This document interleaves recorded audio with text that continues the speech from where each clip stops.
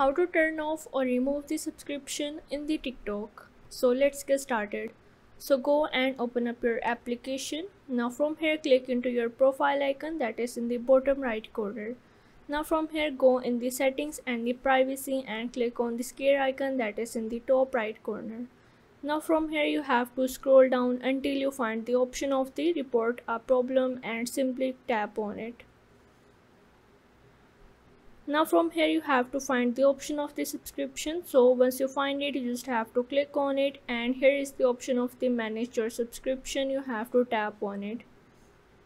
And from here you have to tap on this how can i cancel on an auto renewal subscription? So you just have to click on it. And after that you are able to remove or turn off your subscription into your tiktok application so if this video helped you out make sure to like and subscribe the channel and see you in the next video